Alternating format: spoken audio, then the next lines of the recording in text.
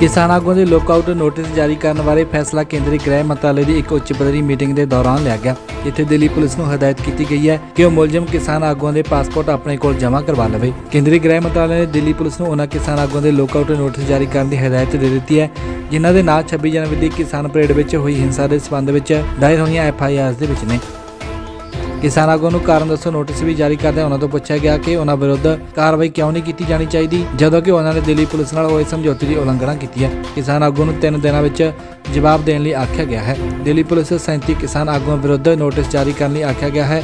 ਜਿਨ੍ਹਾਂ ਵਿੱਚ ਯੋਗੇਂਦਰ ਯਾਦਵ, ਬਲਦੇਵ ਸਿੰਘ ਸਿਰਸਾ, ਦਰਸ਼ਨਪਾਲ ਰਾਕੇਸ਼ ਟਕੈਤ ਮੇਧਾ ਪਾਟਕਰ ਅਤੇ ਹੋਰ ਆਗੂ ਸ਼ਾਮਲ ਨੇ। ਇਸ ਦੌਰਾਨ ਪੰਜਾਬੀ ਅਦਾਕਾਰ ਤੇ ਦੀਪ ਸਿੱਧੂ ਤੇ ਗੈਂਗਸਟਰ ਤੋਂ ਸਮਾਜਿਕ ਕਾਰਕੁਨ ਬਣੇ ਲੱਖਾ ਸਿਧਾਣਾ ਦੇ ਨਾਂ ਵੀ ਐਫ ਆਈ ਆਰ ਵਿੱਚ ਸ਼ਾਮਲ ਕਰ ਲਏ ਗਏ ਨੇ। ਪੁਲਿਸ ਨੇ ਉੱਤਰੀ ਜ਼ਿਲ੍ਹੇ ਦੇ ਕੋਤਵੀ ਪੁਲਿਸ ਥਾਣੇ ਵਿੱਚ ਇਸ ਸੰਬੰਧੀ ਕੇਸ ਦਰਜ ਕੀਤਾ ਹੈ ਤੇ ਦੋਸ਼ ਲਗਾਇਆ ਹੈ ਕਿ ਉਹਨਾਂ ਨੇ ਪ੍ਰਾਚੀਨ ਸਮਾਰਕਾਂ ਤੇ ਪੁਰਾਤਤਵ ਸਥਾਨਾਂ ਦੇ ਨਾਲ-ਨਾਲ ਹੋਰ ਜਨਤਕ ਸੰਪਤੀ ਨੂੰ ਨੁਕਸਾਨ ਪਹੁੰਚਾਇਆ ਹੈ।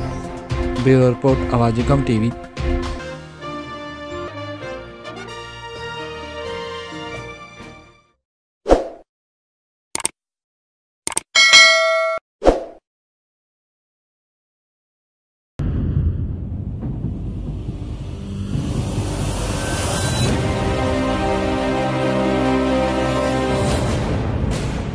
ਕਿਸਾਨ ਆਗੂਆਂ ਦੇ ਲੋਕਆਊਟ ਨੋਟਿਸ ਜਾਰੀ ਕਰਨ ਬਾਰੇ ਫੈਸਲਾ ਕੇਂਦਰੀ ਗ੍ਰਹਿ ਮੰਤਰਾਲੇ ਦੀ ਇੱਕ ਉੱਚ ਪੱਧਰੀ ਮੀਟਿੰਗ ਦੇ ਦੌਰਾਨ ਲਿਆ ਗਿਆ। ਜਿੱਥੇ ਦਿੱਲੀ ਪੁਲਿਸ ਨੂੰ ਹਦਾਇਤ ਕੀਤੀ ਗਈ ਹੈ ਕਿ ਉਹ ਮੁਲਜ਼ਮ ਕਿਸਾਨ ਆਗੂਆਂ ਦੇ ਪਾਸਪੋਰਟ ਆਪਣੇ ਕੋਲ ਜਮ੍ਹਾਂ ਕਰਵਾ ਲਵੇ। ਕੇਂਦਰੀ ਗ੍ਰਹਿ ਮੰਤਰਾਲੇ ਨੇ ਦਿੱਲੀ ਪੁਲਿਸ ਨੂੰ ਉਹਨਾਂ ਕਿਸਾਨ ਆਗੂਆਂ ਦੇ ਲੋਕਆਊਟ ਨੋਟਿਸ ਜਾਰੀ ਕਰਨ ਦੀ ਹਦਾਇਤ ਦੇ ਦਿੱਤੀ ਹੈ, ਜਿਨ੍ਹਾਂ ਦੇ ਨਾਂ 26 ਜਨਵਰੀ ਦੀ ਕਿਸਾਨ ਪਰੇਡ ਵਿੱਚ ਹੋਈ ਹਿੰਸਾ ਦੇ ਸਬੰਧ ਵਿੱਚ ਦਾਇਰ ਹੋਈਆਂ ਐਫ ਆਈ ਆਰਸ ਦੇ ਵਿੱਚ ਨੇ। ਕਿਸਾਨ ਆਗੂਆਂ ਨੂੰ ਕਾਰਨ ਦੱਸੋ ਨੋਟਿਸ ਵੀ ਜਾਰੀ ਕਰਦਿਆਂ ਉਹਨਾਂ ਤੋਂ ਪੁੱਛਿਆ ਗਿਆ ਕਿ ਉਹਨਾਂ ਵਿਰੁੱਧ ਕਾਰਵਾਈ ਕਿਉਂ ਨਹੀਂ ਕੀਤੀ ਜਾਣੀ ਚਾਹੀਦੀ, ਜਦੋਂ ਕਿ ਉਹਨਾਂ ਨੇ ਦਿੱਲੀ ਪੁਲਿਸ ਨਾਲ ਹੋਏ ਸਮਝੌਤੇ ਦੀ ਉਲੰਘਣਾ ਕੀਤੀ ਹੈ। ਕਿਸਾਨ ਆਗੂ ਨੂੰ 3 ਦਿਨਾਂ ਵਿੱਚ ਜਵਾਬ ਦੇਣ ਲਈ ਆਖਿਆ ਗਿਆ ਹੈ। ਦਿੱਲੀ ਪੁਲਿਸ 37 ਕਿਸਾਨ ਆਗੂਆਂ ਵਿਰੁੱਧ ਨੋਟਿਸ ਜਾਰੀ ਕਰਨ ਲਈ ਆਖਿਆ ਗਿਆ ਹੈ।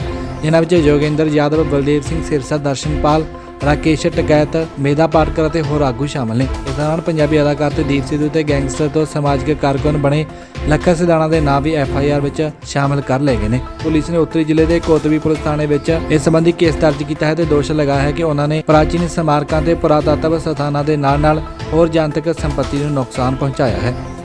ਬਿਊਰੋ ਰਿਪੋਰਟ, ਆਵਾਜ਼ ਕਮ ਟੀਵੀ।